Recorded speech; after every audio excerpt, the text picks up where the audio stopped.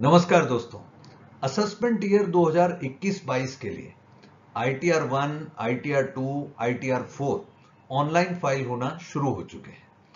अब ये जो आई टी आर वन यहाँ पर आप फ़ाइल करते हैं, अगर आप इसे ऑनलाइन सीधे इनकम टैक्स डिपार्टमेंट के साइट पे जाकर के फ़ाइल करना चाहें तो आपको किन किन बातों का ध्यान रखना है या स्टेप बाय स्टेप आपको कैसे ऑनलाइन आईटीआर फ़ाइल करनी है, उसी विषय पर आज की वीडियो आपके समक्ष प्रस्तुत है।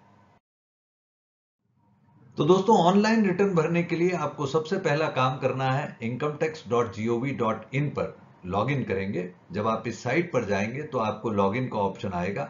मैं ये मान लेता हूँ कि आपका ऑलरेडी एक लॉगिन क्रिएटेड है। लॉगिन क्या है? आपका पैन और पासवर्ड आपने ऑलरेडी बना रखा है। यदि नहीं बना रखा और आप पहली बार रिटर्न भर रहे हैं तो भी आप ऐसी परिस्थिति में स्वयं अपना वहाँ पर एक प्रोफ़ाइल क्रिएट कर सकते हैं, अपने आप को रजिस्टर कर सकते हैं। वंस यू आर रजिस्टर्ड तो एक पोर्टल सामने आपको डैशबोर्ड दिखाएगा। वहाँ डैशबोर्ड से दोस्तों रिटर्न भरने की कार्यवाही हम शुरू करेंगे। यहाँ पर अब मैं मान लेता हूँ कि आपने लॉगिन कर लिया। लॉगिन करने के बाद में अलग अलग ऑप्शन आपको दिखेंगे। Dashboard e filing authorise partners etcetera आपको ई फाइलिंग पर जाना है अगर आप रिटर्न भरना चाहते हैं तो। यहाँ पर इनकम टैक्स रिटर्न्स पर आप income tax return income tax forms दो ऑप्शन है। जब आप इनकम टैक्स रिटर्न पर क्लिक करेंगे तो आपको ऑप्शन आएगा फ़ाइल इनकम टैक्स रिटर्न यहाँ पर जब आप फ़ाइल इनकम टैक्स रिटर्न्स पर क्लिक करेंगे, इसके बाद अब आपके पास में ऑप्शन आएगा income tax return income tax return कौन से असेसमेंट ईयर के लिए? तो नेचुरली अभी ऑप्शन ही असेसमेंट ईयर 2021 है। तो आपने असेसमेंट ईयर 2021 सेलेक्ट किया। वहाँ पर क्योंकि आईटीआर वन जो लोग फ़ाइल कर रहे हैं दोस्तों वो 44 एबी में टैक्स ऑडिट की जद में नहीं आते तो आपको ये पर्टिकुलर चीज़ में यहाँ पर और यहाँ पर कुछ भी फिलअप करने की ज़रूरत नहीं है। इसके बाद आपको आगे के लिए प्रोसीड करना है। जब आप आगे प्रोसीड करेंगे तो सिस्टम आपको बोलेगा you need to select a mode of filing to proceed आप किस मोड से आईटीआर भरना चाहते हैं? दो ऑप्शन है सर ऑनलाइन ऑफलाइन ऑफलाइन यानी आप अलग से रिटर्न बना करके रखना चाहते हैं, बाद में जब आपको फुर्सत होगी, आप अपलोड कर देंगे। या आप ऑनलाइन ही, और देखिए आप यहाँ पर बड़े ध्यान से कि डिपार्टमेंट ने अपनी साइट पे लिखा है रिकमेंडेड कि हो सके तो आप ऑनलाइन ही फ़ाइल करिए। तो जो भी मोड आप सेलेक्ट करेंगे, अगर आप ऑनलाइन सेलेक्ट करते हैं तो आपको यहाँ पर प्रोसीड के बटन पर क्लिक करना है। जब आपने प्रोसीड का बटन दोस्तों क्लिक किया तो उसके बाद में आपको यहाँ पर ऑप्शन देगा you have save draft of income tax return pending for submission यानी आपने ऑलरेडी कोई पहले से ड्राफ्ट सेव कर रखा है तो आप उस पर आगे बढ़ सकते हैं। और अगर ऐसा कोई ड्राफ्ट सेव नहीं है तो आप वापस से fresh income tax return file करने की ओर बढ़ेंगे। और यहाँ पर आपको क्लिक करना है स्टार्ट न्यू फाइलिंग पे। अब मैं मान लेता हूँ कि आपने स्टार्ट न्यू फाइलिंग पर दोस्तों क्लिक किया। अब आपको लॉ कह रहा है, ये फॉर्म कह रहा है कि भाई सेलेक्ट करिए please select the status applicable to you to proceed further आप एज एन इंडिविजुअल रिटर्न भर रहे हैं एज एन एच रिटर्न भर रहे हैं, या अदर असेसी के रूप में रिटर्न भर रहे हैं। तो प्राइमा फेसाई मैं ये मानता हूँ कि आईटीआर वन केवल इंडिविजुअल एसएससी के लिए एप्लीकेबल है तो हमें इंडिविजुअल एसएससी सेलेक्ट करके अब आगे बढ़ना है।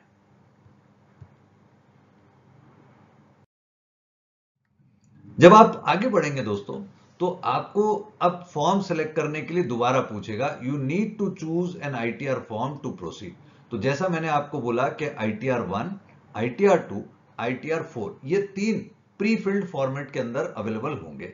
क्योंकि यहाँ पर मैं आईटीआर वन से रिलेटेड डिस्कशन कर रहा हूँ तो मैं केवल आईटीआर वन पर बात करता हूँ कि मान लीजिए मैंने सेलेक्ट कर लिया आईटीआर वन ये सेलेक्ट करने के बाद जब मैं आगे बढ़ूँगा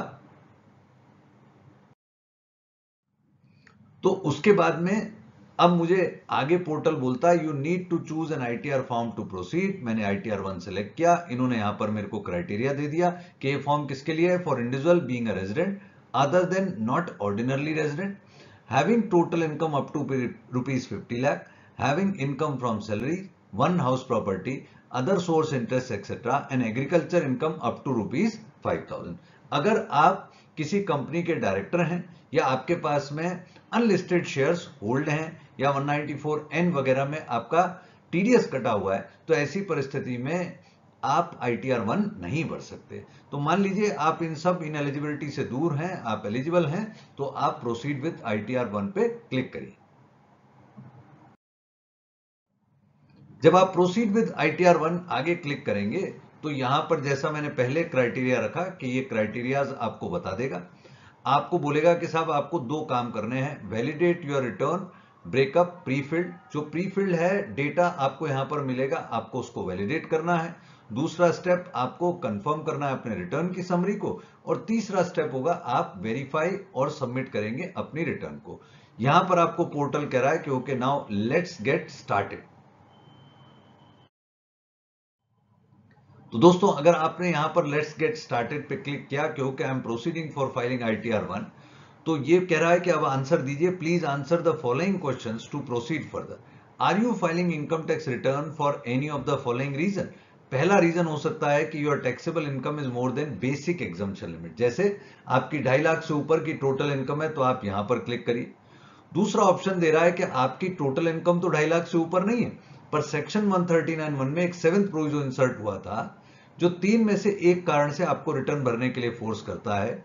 You have deposited aggregate of the amount exceeding one crore rupees in one current account during the previous year you have incurred expenditure on an amount or aggregate of the amount exceeding 2 lakh for travel to a foreign country to yourself or any other person or you have incurred expenditure of an amount or aggregate of amount exceeding rupees 1 lakh on uh, consumption of electricity during the previous year तीनों में से एक भी option आपको तभी select करना है जब आप रिटर्न भरने के लिए अदरवाइज़ लाइबल नहीं है। यानी आपकी total income below basic exemption limit है पर आप इनमें से किसी एक पर्टिकुलर पॉइंट में आने की वजह से रिटर्न भर रहे हैं।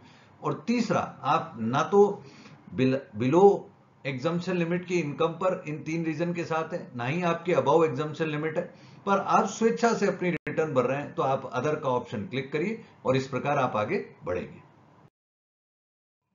वंस यू मूव फॉरवर्ड तो डिपार्टमेंट आपको यहां पर पोर्टल एक मैसेज दे रहा है we have prefilled your return based on the information available with the income tax department please confirm that the details in each section are correct to proceed this is very important sir pre-filled return does not mean that you have to straight away accept what is given in the pre-filled format. It means the format with the pre-filled information is subject to change. आपको लगता है कि सूचना में कुछ change होना है, मेरी इनकम बढ़ रही है उस लेवल से या घट रही है तो आप वो चेंजेस करके आगे बढ़ेंगे।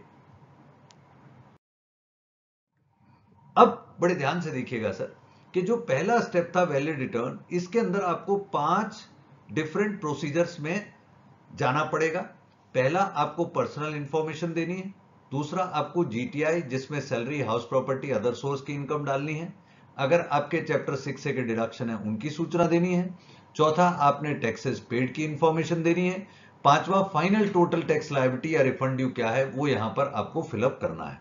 तो जैसा मैंने शुरू में बोला दोस्तों कि तीन मेन पार्ट्स हैं। पहला होगा वैलिडेट रिटर्न दूसरा होगा confirm your return summary and तीसरा वेरीफाई एंड सबमिट लेकिन इस पहले स्टेप वैलिड रिटर्न में आपको पाँच डिफरेंट डिफरेंट कैटेगरीज के अंदर इंफॉर्मेशन को या तो कंफर्म करना है या फिलअप करना है।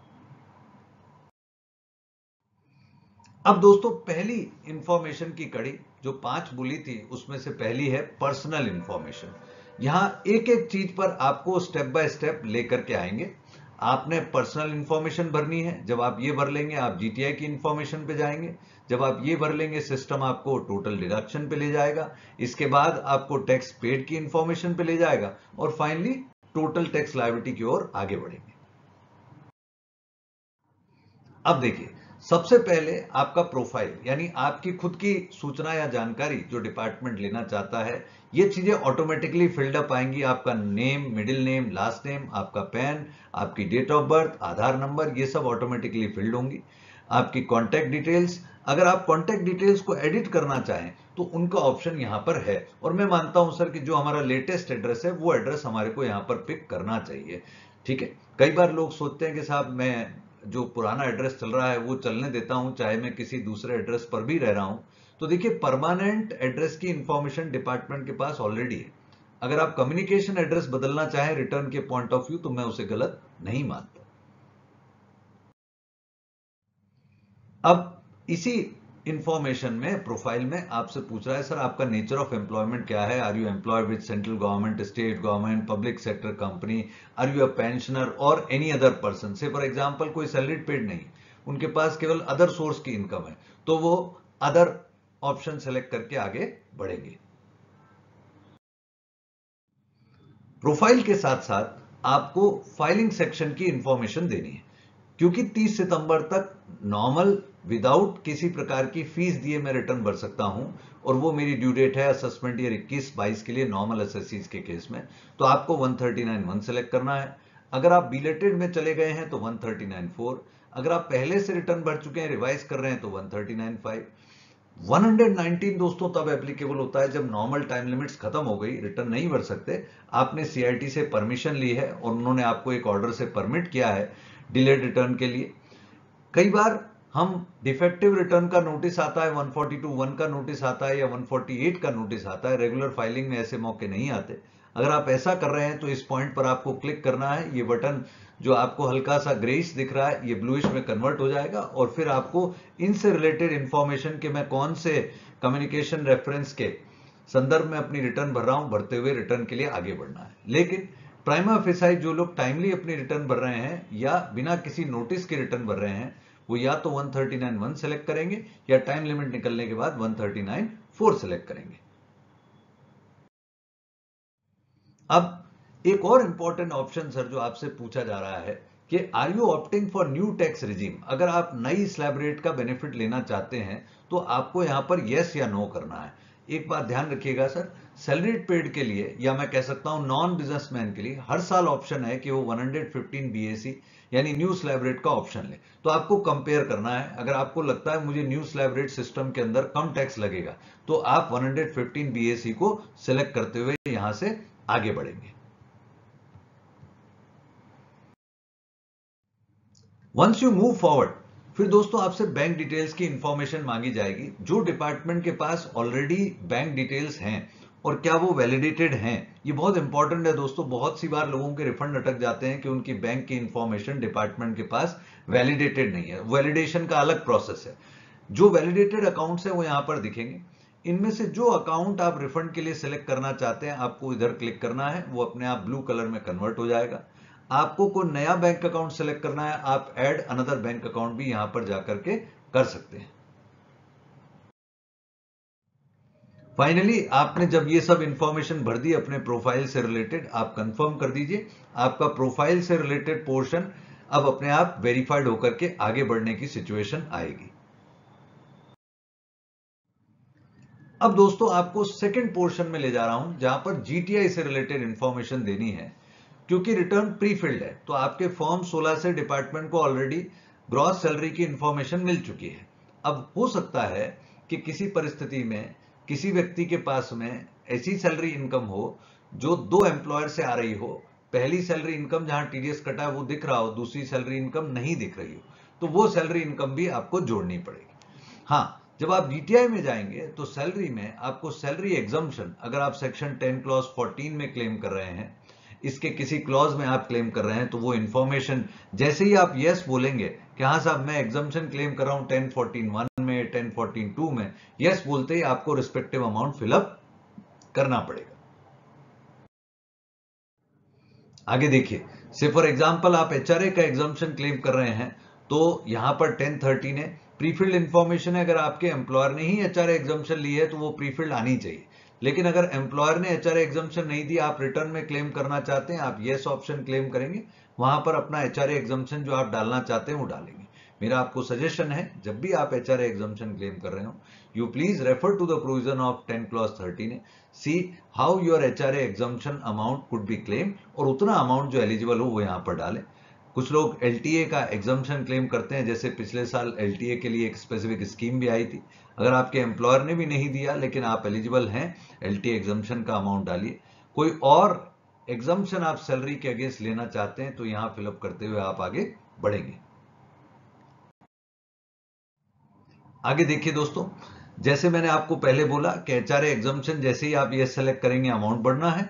और ऐसे ही अगर आप एल टी एग्जामेशन सेलेक्ट करेंगे तो आपको यस करके अमाउंट फिलअप करके मांगेगा। अब मान लेते हैं कि सैलरी इनकम आपकी अपने आप फिल्डअप आ गई। हालाँकि जो डेटा मैंने उठाया है वहाँ पर मैं ज़ीरो ज़ीरो डेटा एक बार दिखा रहा हूँ। आप, जैसे मैंने बोला कि दो एम्प्लॉयर हैं, तीन एम्प्लॉयर हैं, आप जोड़ना चाहते हैं तो आप यहाँ पर एडिट कर सकते हैं। ठीक है? से फॉर एग्ज़ाम्पल मेरे दो एम्प्लॉयर थे, इस साल में एक से तीन लाख की सैलरी आई, एक से साढ़े सात लाख की सैलरी आई। तो तीन लाख वाले ने तो टीडीएस काटा नहीं, ना मुझे छब्बीस एस में दिखा। तो अब मैं चाहता हूँ कि मैं उन एम्प्लॉयर को भी यहाँ जोड़ूं, ताकि मेरी फाइनल लाइबिलिटी सही से पेड हो। तो यहाँ पर मैं एडिट करके इंफॉर्मेशन जोड़ूँगा। जोड़ने के साथ साथ दोस्तों, मेरे को यहाँ पर ग्रॉस सैलरी की डिटेल ठीक है? एंड इसके साथ साथ exam allowance net salary deduction और income under the head salary finally calculate होकर के आ जाएगी। अब मैं ले चलता हूँ आपको हाउस प्रॉपर्टी की डिटेल्स की ओर कि अगर आपकी प्रॉपर्टी हाउस प्रॉपर्टी है सिंगल हाउस प्रॉपर्टी ही आप केवल आईटीआर वन में सिलेक्ट कर सकते हैं।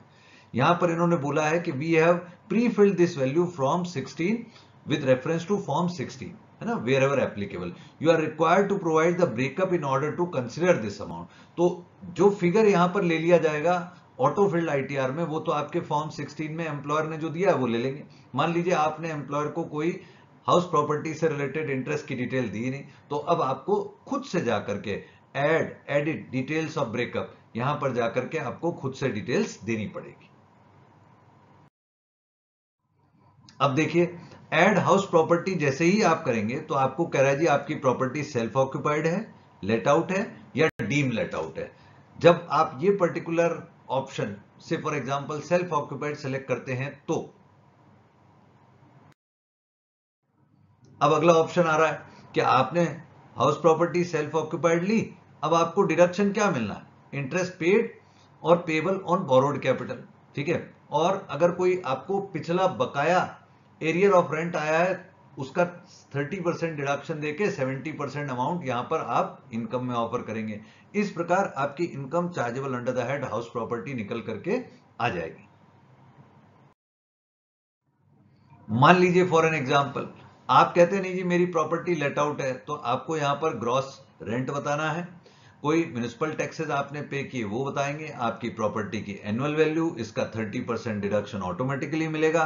Interest paid on borrowed capital आप क्लेम करेंगे, या पेबल भी है तो भी आप क्लेम करेंगे। कोई एरियर ऑफ़ रेंट आया है तो वहाँ पर आप उसका 30 परसेंट रिड्यूस करके 70 परसेंट ऑफ़र करेंगे। इस केस में हाउस प्रॉपर्टी की इनकम ये निकल जाएगी। अगर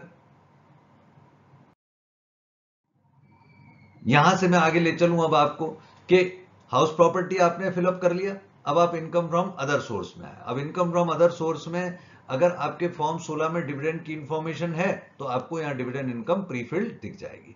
आप डिविडेंड इनकम के अगेंस्ट में, जैसे आप कहते हैं, जी, मैंने डिविडेंड कमाने के लिए इंटरेस्ट ऑन बोरोड कैपिटल दिया तो आप कोई डिडक्शन लेना चाहे, ले लें।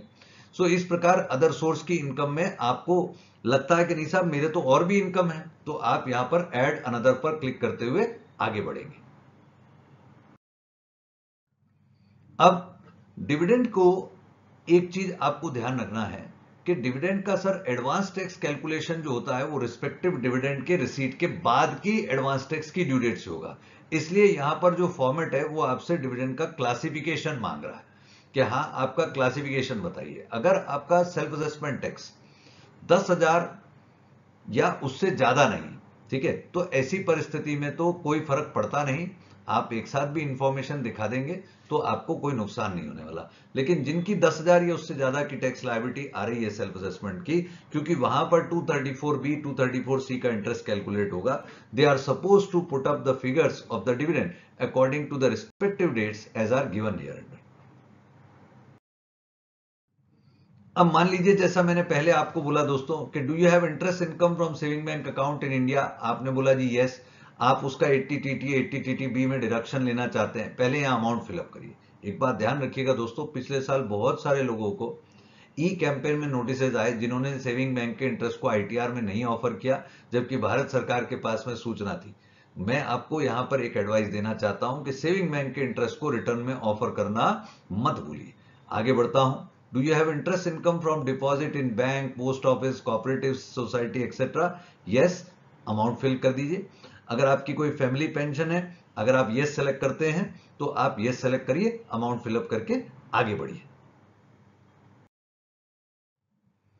Interest from income tax refund Bharat सरकार कह रही है, अगर आपको इनकम टैक्स रिफंड पर ब्याज मिला है, वो भी आपके अदर सोर्स की आय है, उसको भी डालिए। कोई और इनकम अगर आपके पास में से कोई कहता है, जी, मेरी ट्यूशन की इनकम है गिफ्ट की इनकम है, आप उसको डालिए, उसका डिस्क्रिप्शन लिखिए और इस प्रकार आप आगे बढ़ेंगे। तो दोस्तों, तीन चीज़ों का कॉम्बिनेशन सैलरी हाउस प्रॉपर्टी और अदर सोर्स आपकी ग्रॉस टोटल इनकम बनेगा आईटीआर वन के पर्पजेज से। अगर आपकी कोई और एग्ज़ाम इनकम है, जैसे एग्रीकल्चर इनकम ठीक है, या कोई और एग्जामेशन जो आपने क्लेम करी है तो आप उन एग्ज़ाम इनकम की डिटेल को यहाँ पर भरने के लिए लाइबल है। एग्ज़ाम इनकम जैसे ही आप सेलेक्ट करेंगे, फिर वो आपको ऑप्शन देगा। आप उन ऑप्शन में से रेस्पेक्टिव इनकम के हेड को सेलेक्ट करिए, उसकी डिटेल फिलअप करिए और आगे बढ़िए। अब तीसरे पोर्शन पर चल रहा हूँ दोस्तों, पहले पार्ट के, जिसमें आपको डिडक्शंस की इंफॉर्मेशन देनी है। Are you eligible to claim any deduction for donation paid यानी एटीजी का डिडक्शन अब एटीजी में क्या है सर आपके डिडक्शन है 100 percent without any limit 50 percent of contribution without any limit and 100 percent deduction subject to subject to 10 percent of GTI तो वो इंफॉर्मेशन यहाँ पर आपको फिलअप करते हुए आगे बढ़ना पड़ेगा। इसी प्रकार से आपने कोई साइंटिफिक रिसर्च एसोसिएशन को दिया एटी डबल जी में कोई डिडक्शन आप क्लेम कर रहे हैं, जैसे ही आप यस सेलेक्ट करेंगे इन तीनों ऑप्शन में तो आपसे रिलेवेंट डिटेल्स भरने के लिए फॉर्म करेगा। इसी प्रकार दोस्तों, अगर आप एटीसी में एलिजिबल हैं, क्योंकि ज़्यादातर लोग एटीसी क्लेम करते हैं तो यहाँ पर आपको यस सेलेक्ट करना है। रिस्पेक्टिव अमाउंट्स को आपको फिलअप करते हुए आगे चलना है। अगर आप eighty C D subsection two NPS contribution by employer ले रहे हैं, वहाँ आप ये सेलेक्ट करके आगे बढ़ेंगे। अगर आपने डी मेडिकल इंश्योरेंस प्रीमियम पे किया हेल्थ इंश्योरेंस चेकअप के खर्चे किए या किसी प्रकार से आपने अपने सीनियर सिटीजन या नॉन सीनियर सिटीजन पेरेंट्स के लिए मेडिकल एक्सपेंसेस किए हैं या इंश्योरेंस प्रीमियम दिया है तो आप उनकी डिटेल्स यहाँ पर फिलअप करते हुए आगे बढ़ेंगे। और डिडक्शन में अगर मैं बात करूँ तो एटीई एजुकेशन लोन या कोई और डिडक्शन से फॉर एग्जांपल कोई एटीयू किसी प्रकार की स्पेशल डिसेबिलिटी से रिलेटेड अगर डिडक्शन क्लेम करना चाहें तो करते हुए आप आगे बढ़ेंगे। फाइनली आपको फॉर्मेट कहता है कि okay please verify your deductions कि आप जो भी डिडक्शंस क्लेम कर रहे हैं, उनको आप एक बार वेरीफाई कर लीजिए। एक और इंपॉर्टेंट चीज़ बताता हूँ दोस्तों। अगर आप कहीं भी अटक रहे हैं इस फॉर्म में तो आपको बहुत सी बार टॉप पर नीड हेल्प का ऑप्शन मिलेगा। आप इस नीड हेल्प के ऑप्शन को क्लिक करेंगे तो आपको कुछ पॉइंट्स वहाँ पर लिखे मिलेंगे, जो आपको गाइड करने के लिए यहाँ पर मौजूद होंगे। आप उनके थ्रू गाइडेंस ले सकते हैं कि अच्छा मैं फॉर्म सही तरीके से फिलअप कर रहा हूँ, या मुझे कोई और इंफॉर्मेशन एज पर पॉइंट्स ध्यान रखनी है तो आप उन्हें ध्यान रखते हुए आगे बढ़े। अब चौथा पोर्शन सर जो टीडीएस से रिलेटेड टैक्सेस से रिलेटेड है। अगर आपका कोई टीडीएस कटा है तो यहाँ पर टीडीएस दिखेगा, ठीक है? अगर कोई टीडीएस अदर देन सैलरी है से interest other than interest on security interest on security brokerage etcetera वो दिखेगा, ठीक है? अगर किसी और प्रकार का टीडीएस कोई है जो फॉर्म 16 सी के थ्रू आ रहा है, वो दिखेगा। कोई टीसीएस आपसे कलेक्ट हुआ है तो वो आएगा। फाइनली आप इसके बाद advance tax and self adjustment tax की इंफॉर्मेशन जो आपको प्री फिल्ड रिटर्न में दिख रही है, बहुत अच्छा नहीं दिख रही तो आपको फिलअप करने के लिए उसको आगे बढ़ना पड़ेगा। जैसा मैंने बोला कि अगर आपको इन्फॉर्मेशन नहीं दिख रही तो आप एडवांस टैक्स या सेल्फ असेसमेंट टैक्स के BSR code serial number of challan date of deposit वगैरह फिलअप करते हुए आगे बढ़ सकते हैं। फाइनली जब आपने ये इंफॉर्मेशन दे दी तो आपको बताएँगे कि ओके जीटीआई आपकी ये है डिडक्शन आपने इतने लिए टोटल इनकम आपकी इतनी आई टैक्स पेबल इतना बनता है रिबेट 87 ए में इतनी है, और final tax payable after rebate आपके लिए ये अमाउंट होगा। अब जो फाइनल अमाउंट है total tax and interest and fees payable अगर आप टाइम लिमिट में रिटर्न भरेंगे तो फ़ीस कुछ नहीं लगनी है। Final total amount of tax fees and interest यहाँ पर आपको जो रिटर्न है, वो अपने आप फॉर्मेट में दिख जाएगा। अब आपने यहाँ तक आते आते दोस्तों मेरे साथ पर्सनल इंफॉर्मेशन फिल कर ली जीटीआई की डेटा दे दिया टोटल डिडक्शंस दे दिए टैक्स पेड दे दिया और टोटल टैक्स लाइबिलिटी भी आपके लिए यहाँ तक आते आते फाइनल हो चुकी है। अब अगर आपका कोई टैक्स लाइबिलिटी आएगा तो हालाँकि मेरे केस में जो मैं एग्जांपल लेके चल रहा हूँ ज़ीरो है, मान लीजिए दस हज़ार है तो आपको यहाँ पर दस हज़ार का अमाउंट लिखा मिलेगा। आपको वो दस हज़ार का अमाउंट उसी समय फिल करना है, क्योंकि विदाउट सेल्फ असेसमेंट टैक्स पे किए रिटर्न भरने की सलाह मैं नहीं देता, ठीक है? ये अब आपको एक ऑप्शन दे रहा है कि आप चाहें तो यहाँ पर अपनी रिटर्न को प्रिंट भी कर सकते हैं, डाउनलोड भी कर सकते हैं। पर ध्यान दीजिए, अभी रिटर्न भरी नहीं है, अभी केवल फॉर्मेट है। तो आप देख सकते हैं कि अच्छा मैंने जो चीज़ भरी है वो क्या है। हालाँकि रुकिएगा, मैं इस पर आगे और क्लैरिफिकेशन आपको देता हूँ। तो दोस्तों, आपने total tax fees and interest निकाल दिया। टोटल टैक्स पेड आपका ये डिटेल आ गई। अमाउंट फाइनली पेबल अगर कोई है तो ये भी डिटेल आपकी यहाँ पर दिख जाएगी। अब आपको करना क्या है? अपनी रिटर्न को सबमिट करने की तैयारी करनी है। तो यहाँ पर आप क्लिक करेंगे। अपना नाम, आपका पिताजी का नाम यहाँ पर दिख जाएगा, है ना? आपकी कैपेसिटी सेल्फ ठीक है? और आपका पैन नंबर यहाँ पर दिखेगा। आपको आगे प्रोसीड करना है। जब आप प्रोसीड टू प्रीव्यू करेंगे तो इससे आपको एक रिटर्न पूरी भरी हुई यहाँ पर दिख जाएगी सर मैंने केवल उसका एक छोटा सा पोर्शन इनिशियल पोर्शन रखा है। आप इस इनिशियल पोर्शन को देख रहे हैं, पूरी रिटर्न आपको यहाँ पर दिखेगी। आप इसका प्रिंट भी निकालना चाहेंगे तो निकल जाएगा डाउनलोड भी करना चाहे निकल जाएगा, लेकिन अभी ये रिटर्न पूरी नहीं हुई है, यानी भरी नहीं गई है। ध्यान रखिएगा इस बात का आप लोग। जब आपने रिटर्न देख ली, अब आप सेटिस्फाइड है कि हाँ साहब, ये रिटर्न के फॉर्मेट में जो मेरी इंफॉर्मेशन है, बिल्कुल सही दिख रही है तो अब आप प्रोसीड टू वैलिडेशन की ओर आगे बढ़ेंगे। वैलिडेशन क्या है? आपने जो रिटर्न बनाई है, अगर इसमें कुछ एरर्स है तो ये कहेगा जी वैलिडेशन कंप्लीटेड दो errors found two errors found तो आपको पर एरर पर ये क्लिक करने का ऑप्शन देगा और रिस्पेक्टिव कॉलम पे ले जाएगा कि साहब, आपने ये इंफॉर्मेशन गलत भरी है या नहीं फिलअप करी है, वो फिलअप कर दीजिए। यहाँ पर आपको फिलअप करते हुए आगे बढ़ना है। मान लीजिए आपने वो जो वैलिडेशन एरर्स थी, वो दूर कर दी। तो देखिए, यहाँ आपको मैसेज दिया कि आपकी वैलिडेट रिटर्न हो गई। कंफर्म योर रिटर्न समरी हो गई, ठीक है? अब आपको वेरीफाई एंड सबमिट करना है। तो वेरीफाई एंड सबमिट करने के लिए आप वैलिडेशन करने के बाद में प्रोसीड टू वेरिफिकेशन करना है। यानी अब आप फाइनल मूवमेंट पर आ चुके हैं जहाँ आप रिटर्न भरने के लिए। बिल्कुल सज्जे हैं, तैयार हैं कि हाँ साहब, अब मैं रिटर्न भरने के लिए खड़ा हूँ। मेरी रिटर्न एक्सेप्ट करिए। जैसे ही आपने प्रोसीड फॉर वेरिफिकेशन किया तो आपको तीन ऑप्शन देगा। या तो अभी के अभी ई वेरीफाई कर दीजिए बाद में कर लीजिएगा या I T R five sign करके भेज दीजिएगा। यानी I T R five sign करने का ऑप्शन मौजूद है। तो इन तीनों में से जो भी ऑप्शन आप सेलेक्ट करेंगे उसके हिसाब से आपकी आई टी आर फिलअप हो जाएगी। तो दोस्तों मैं मानता हूँ इस प्रकार से आपकी finally I T R one fill up होगी। The end, my dear friends, I believe that yet it has been a quite long video, but naturally मैंने एक शॉर्ट में आपको आई टी आर वन कैसे भरनी है ऑनलाइन वो प्रक्रिया आपके सामने नट एंड शेल रखने की कोशिश करी। आपकी कोई क्वेरीज हो तो आप लिखिए, मैं उनका आंसर देने की कोशिश करूँगा। मुझे सुनने के लिए बहुत बहुत धन्यवाद। जय हिंद।